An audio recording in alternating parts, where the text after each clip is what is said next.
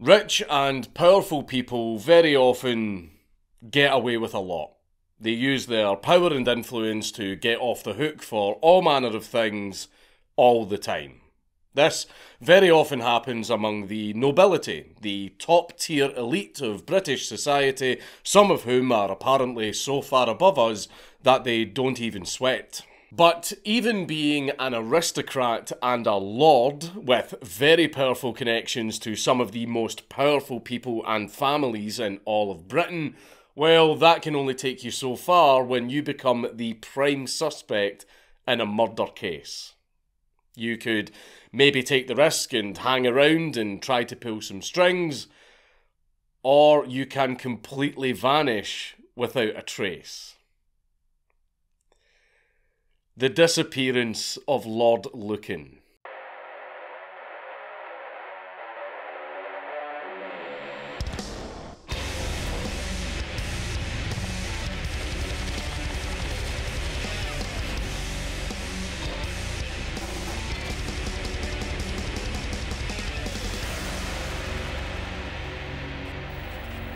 Please leave a like and a comment on this video because it really helps me in the algorithm. But before we get started, this video is brought to you by Raycon. With Raycon earbuds, you can greatly enhance your listening experience with incredible quality at half the price of other premium audio brands. The new everyday earbuds are better than ever with an improved rubber look and feel that is both sleek and stylish. They have been specifically modified through many design iterations to seamlessly fit the curvature of your ears, as well as including various optimized gel tips for your comfort and security, regardless of the size of your ears.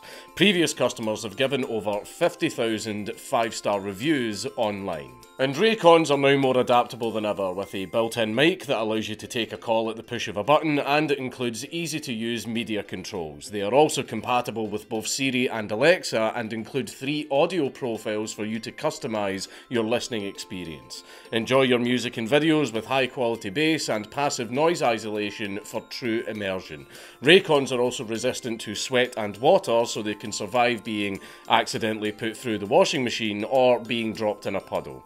They offer up to 54 hours of battery life, and since Christmas is coming up, I would say that a pair of Raycons would be a very convenient gift for most of your family and friends. And Raycon have made it easy for you over the Christmas period by including holiday gift guides to make buying gifts for your loved ones a much smoother experience. As for my American viewers, you can now buy Raycons at your local Walmart and Kohl's, but you can always get a better deal from buyraycon.com slash dankula. So, if you want to get some top tier earbuds while also supporting my channel, then click my link down in the description box down below or go to buyraycon.com slash dankula to get an exclusive deal of up to 15% off site wide by using the code HOLIDAY. There will also be new pop-up deals every day during Raycon's countdown to Christmas and I'll try to keep the description box updated with the latest offers. But just so you know, you can always go to buyraycon.com slash dankula to get the best deals available on Raycon. John Bingham, the seventh Earl of Lucan, was born as Richard John Bingham on the 18th of December 1934 in Marylebone, London. He was the eldest son of George Bingham, 6th Earl of Lucan, and his wife Caitlin Dawson. His mother had been diagnosed with a blood clot in her lung, so she was bedridden for a very long time. And John was raised by a nursery maid named Lucy Sellers. Just before World War II broke out, John Bingham became an evacuee, and he was sent to live in Wales with his sister. During World War II, children were sent out from cities to go live in the countryside to keep them safe from the Blitzkrieg bombings. But eventually, he and his other siblings were sent to Canada to live with a multi millionairess named Marcia Brady Tucker. But shortly after their arrival, they moved to America instead. While staying with her, John lived a life of luxury and safety away from the war. But when it was time for him and his siblings to return, London seemed like a grim life in comparison, especially after the Blitz. Food rationing was also still in place too, so they couldn't eat like they could in America. The realities of coming home from a dream life and finding out their family home had been bombed and seeing the destruction everywhere, made John develop night terrors, which meant he had to start seeing a therapist. After some time, John travelled to Windsor to attend Eton College, which is the big posh as fuck school that pretty much all of our prime ministers have been to. While at Eton, John developed a love of gambling, and he would make some money from the other students by bookmaking and then attending horse races to place his own bets. As for his education, he did the bare minimum that he had to do in order to pass. He left Eton in 1953 due to being obligated to do his national service. He was placed as the second lieutenant of the Coldstream Guards and he was stationed in West Germany from 1953 to 1955. The Coldstream Guards are the oldest serving regiment in the British Army to this day. During his service, when they were on their downtime, John really loved playing poker with his squad, which further added to his love of gambling. After leaving the military, he became a merchant banker in London for a company called William Brandt Sons and Co. And when he wasn't working, he became a professional gambler. He was an early member of a group known as the Clermont Club, which was an exclusive group of wealthy gamblers. John would win regularly at games such as backgammon and bridge, but he would also lose a lot of money on some occasions. His worst being a £10,000 loss at a casino, which in those days, that's, that's a brutal amount of money to lose.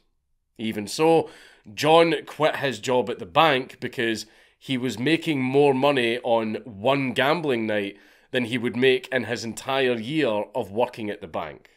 And he was also angry that he got passed up for promotion.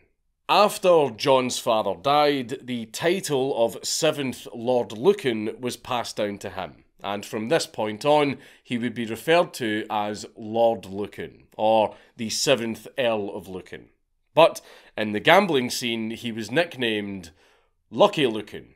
As time went on, he slowly became more and more addicted to gambling and alcohol, although financially he still seemed to be doing pretty well for himself. In 1963, Lord Lucan married Veronica Duncan, who was from a military family. She hadn't met her father since he had died when she was just two years old, but he reached the rank of Major in the Royal Field Artillery at only 22 years old, and he was even awarded the Military Cross for his services. The wedding ceremony was attended by a lot of high society people and even a princess. Also, in case anyone is raising an eyebrow at someone somehow becoming a major at 22, this was during World War One, where the average life expectancy was about three hours. So, a 22 year old major in World War One, not that unusual. Lord Lucan started a family with his new wife relatively fast, and in a short space of time, they had three children. In 1967, they moved into an area of London known as Lower Belgrave Street in Belgravia, and the house only cost them £17,500, which in modern London is now the monthly rent on a one bedroom flat. After their first child, they immediately hired a nanny, which was customary at the time, especially for wealthy families. Lucan, however, kept trying to mould Veronica into someone she wasn't. He tried to teach her about gambling, hunting, and he even paid for her to take golf lessons, none of which she had any interest in at all. Lord Lucan had a very strict routine of spending his mornings, as most men at the time did, by reading the papers, having a coffee, and answering any letters he may have received. But the rest of his day was spent at the Clermont Club, eating lavish meals and gambling.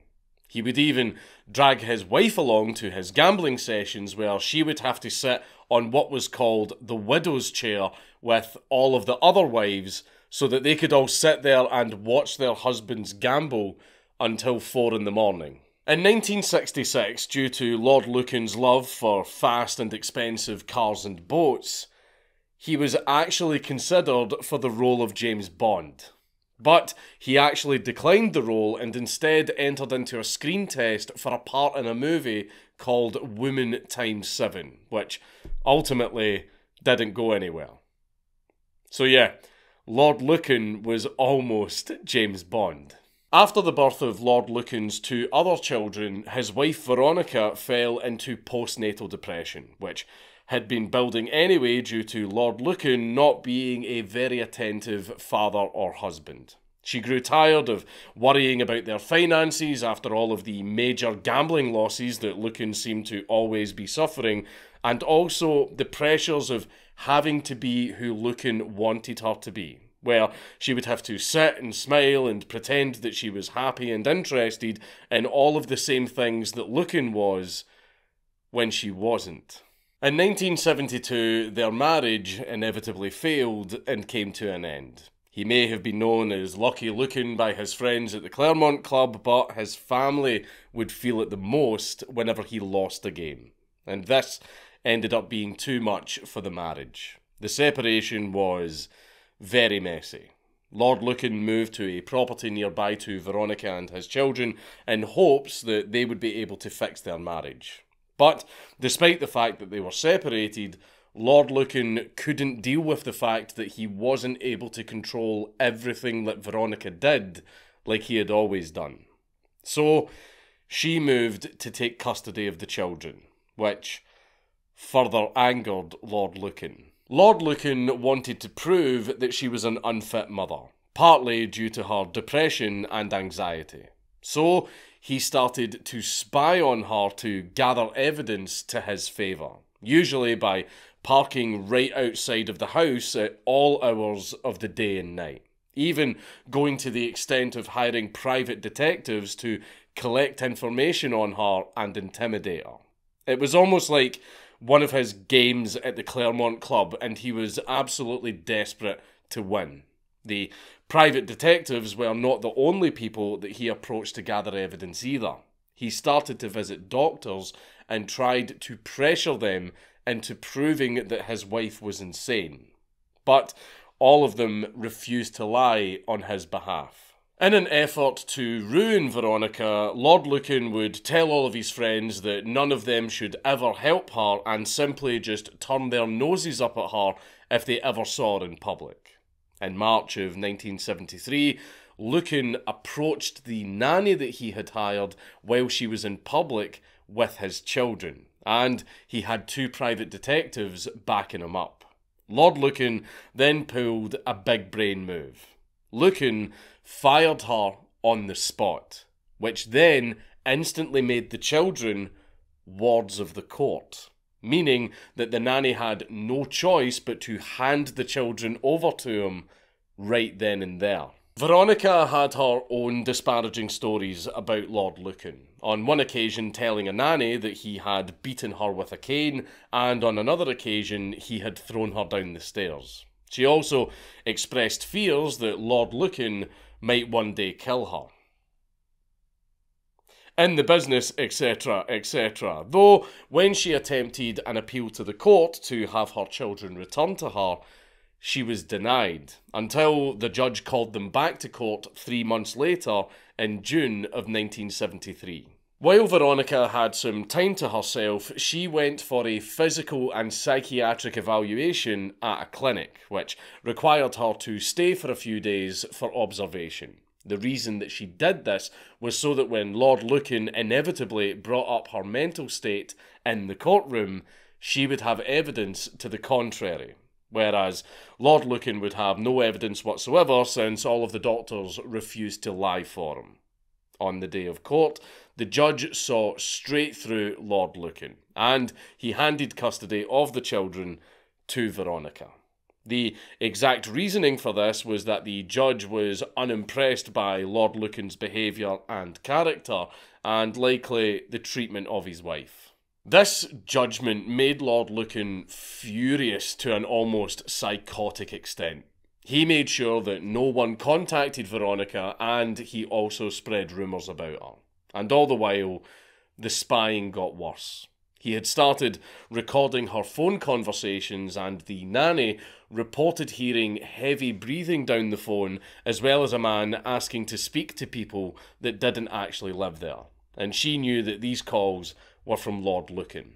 He even stole his wife's medication and took it to the pharmacist to identify what it was. And it turns out she was just taking Limbitrol 5, which is for depression and anxiety, which under the circumstances isn't really much of a surprise. Anything that Lord Lucan could do to make Veronica feel powerless to his control, he would do it. On top of his spying, he still continued to gamble losing vast amounts of money, eventually having to let go of his private detectives since he was running out of cash. The spying continued, however, as Lucan had become close with the current nanny working for Veronica, and she would report everything back to Lord Lucan. That is until the end of 1974, when Veronica got a new nanny, a woman named Sandra Eleanor Rivett, which put an end to the information being fed back to Lucan. Lord Lucan was at the edge of financial ruin, and he had become dependent on alcohol.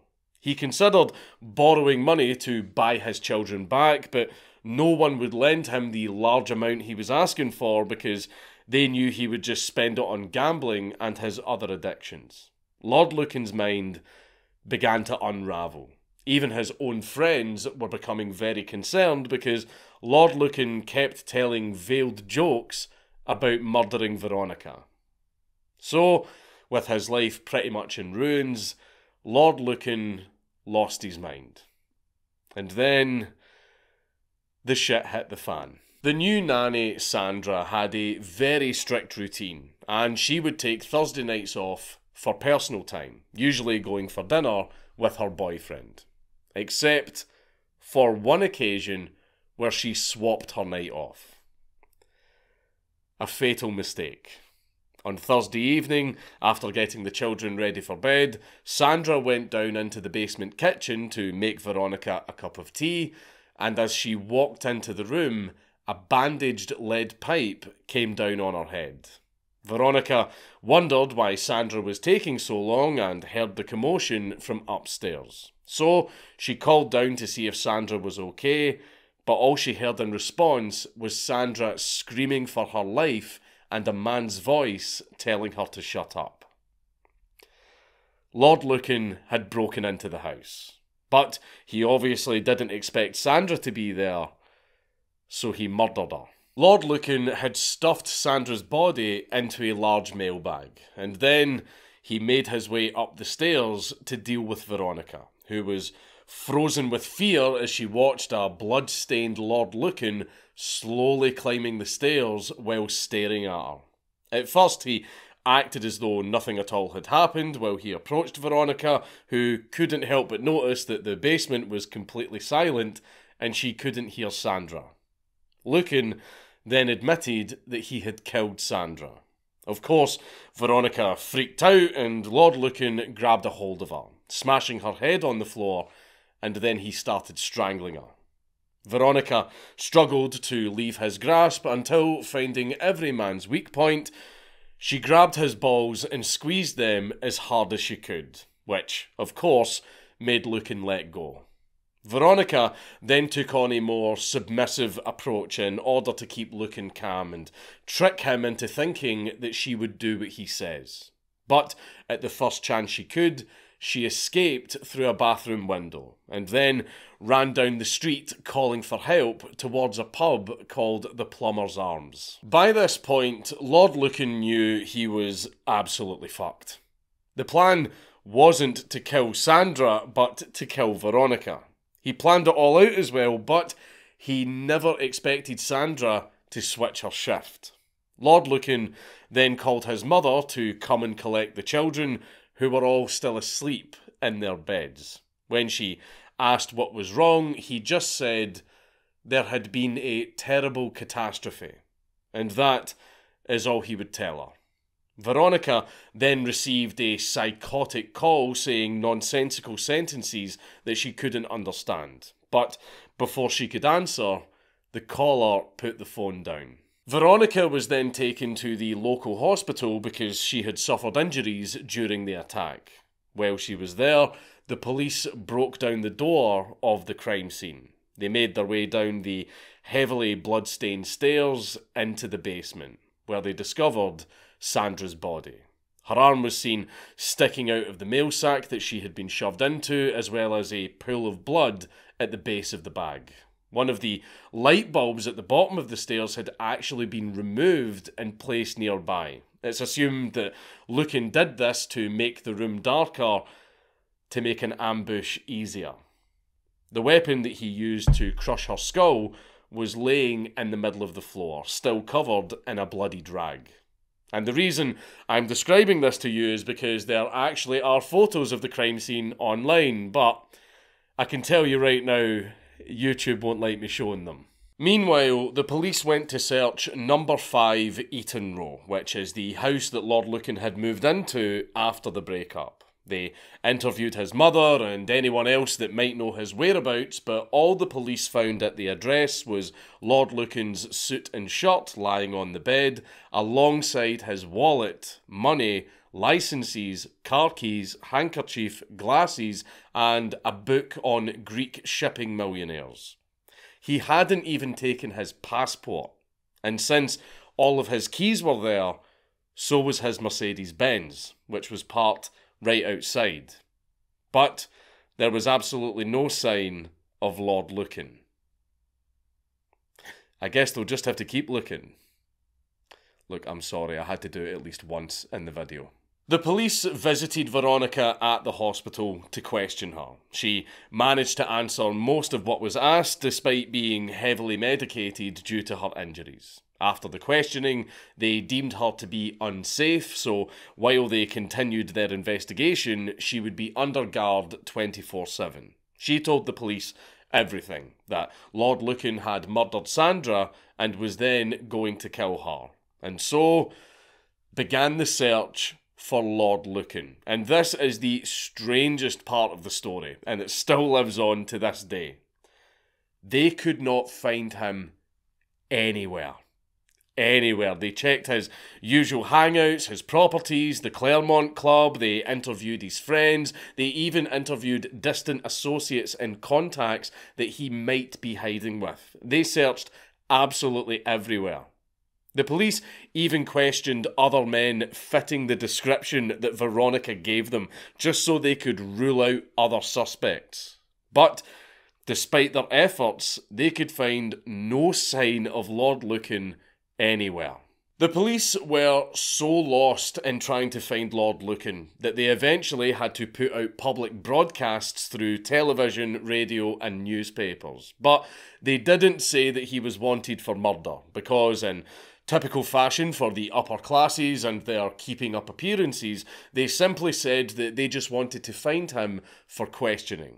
So, the news was doing the same business as usual and only telling the public part of the story. Because who are you peasants to question the moral actions of a lord? We might do illegal shit all the time, but quite frankly, that is none of your business. Pleb.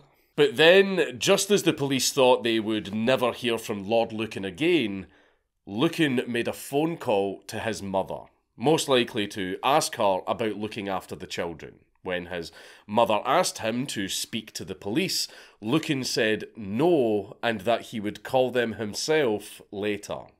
Detective Chief Superintendent Roy Ranson, the officer managing the case, found out that after Lucan had killed Sandra, he went to go and stay with two of his friends, Ian Maxwell Scott and his wife, in Uckfield, East Sussex. Lucan tried to make up a bunch of stories to cover up what he had done when he was explaining the situation to his brother in law in a letter. He said that Veronica had at first lied, and then he said that he had actually hired an assassin to kill Veronica and Sandra but the evidence for Lord Lucan committing the act himself was pretty overwhelming. He also said that he believes that Veronica now hates him. Well, well, yeah. Lucan went on to say that he didn't want his children to be brought up by her, especially with them believing that their father is now a murderer. Which, which, which he is. The last thing that he wanted his brother in law to do was to explain what paranoia is to the children when they are old enough, so that they would think that Veronica was crazy. You know, just all classic projection. While the investigation continued and Lord Lucan was still on the run, Lucan and Veronica's children were sent to live with their aunt for a few weeks until things had been sorted. Lucan's friends, Ian and his wife, were questioned as to why they didn't tell the police that a wanted fugitive was staying with them, and they simply said that they hadn't seen, read, or heard any of the broadcasts. Superintendent Roy Ranson intercepted Lucan's letters and allegedly found that they had small amounts of blood on them from both Sandra and Veronica, which showed how much of a rush he was in since it seemed that he hadn't even had a bath since the incident. Then the police had tracked his next step. They found a Ford Corsair that an eyewitness claimed Lord Lucan was seen driving just 16 miles away from his friend's house in Uckfield.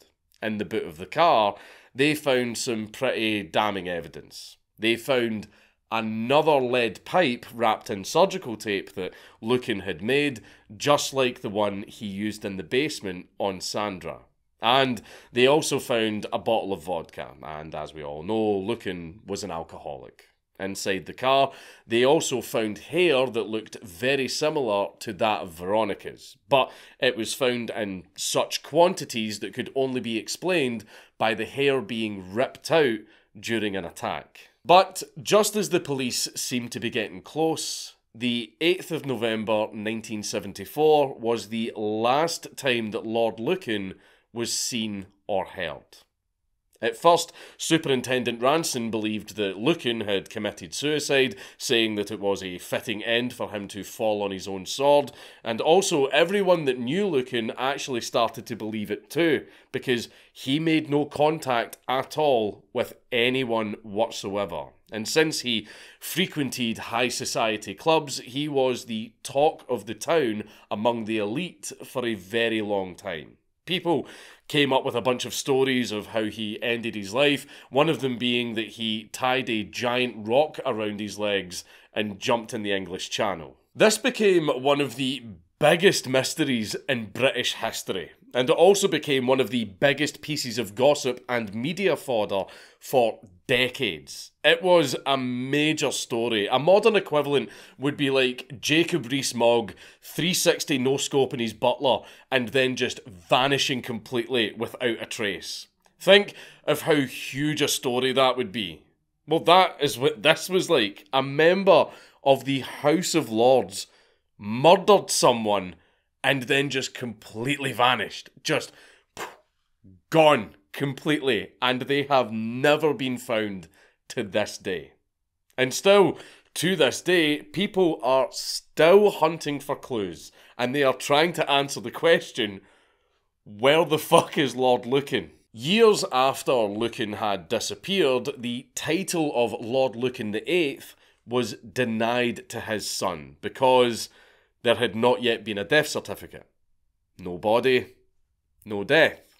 This meant that his son couldn't inherit the title and take a seat in the House of Lords, which I can't have much sympathy for because the House of Lords is a giant pile of bullshit. Anyway, the doubts on whether he was alive, dead, or on the run didn't help. Even Superintendent Ranson changed his mind and decided that Lucan wasn't man enough to put an end to himself, and it was likely that he had escaped to South Africa. Others believe that he was smuggled out of the country by an unknown criminal organisation to Switzerland, where he lived until he died sometime in the 90s.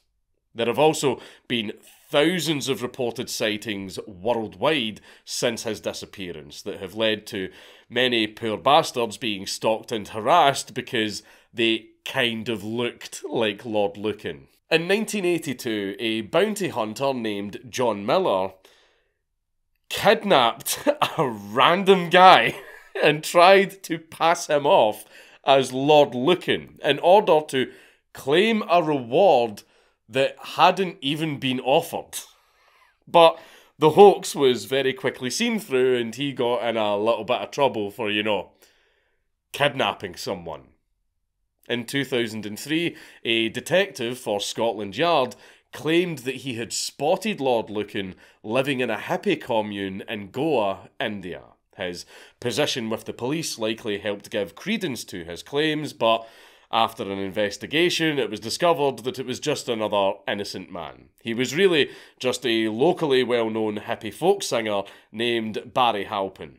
A quick rundown of other instances of false reports about Lord Lucan include uh, apparently him being spotted living in an ex Nazi colony in Paraguay. Uh, working as a waiter in San Francisco and also owning a sheep station in the Australian outback. All of the people that were falsely accused uh, all ended up getting harassed. Lord Lucan was eventually declared dead and a death certificate was issued on the 3rd of February 2016. At this time, Lord Lucan would have been 81 years old. And because a death certificate had finally been issued, Lord Lucan's son could finally claim his title as Lord Lucan VIII and get his special little chair in the House of Lords. Despite the death certificate, many people believe that Lord Lucan is still alive, and even to this day, people claim to have spotted him all over the world. Things did not end too well for Veronica, however. Possibly due to the lifelong trauma that she experienced after the tragic marriage to Lord Lucan and the things that he did to her, she ended up taking her own life at the age of 80 in 2017 by taking a cocktail of pills and alcohol. So, after the final phone call to his mother, we have absolutely no idea at all of what happened to Lord Lucan. Never mind where the fuck he is. How could he have left the country if he left all of his IDs and passports behind? Well, if you're rich and powerful, it's probably easy to get fakes or bribe your way onto a ship. Maybe he didn't even leave the country at all and he bought himself a little cottage in the Highlands and lived his life out there in obscurity. Maybe he went out into the wilderness and self deleted and the wild animals just kind of, you know, took care of the rest. No one has any idea whatsoever. There haven't even been any clues. Maybe we could have hoped for a deathbed confession, you know, just some dying guy living in Timbuktu just announcing it in his last moments. By the way, I'm Lord Lucan right before he passes away. But given that as of filming this, Lord Lucan would be 87 years old. And given his love of gambling, the fact he was a heavy smoker, and the fact that he was an alcoholic, I think it's safe to say that he's already dead. So, what happened to Lord Lucan? And more importantly, where is Lord Lucan? Well, a lesson that you learn in life is there are just some things that you're never going to know. It's Count Dankula on YouTube. Just subscribe.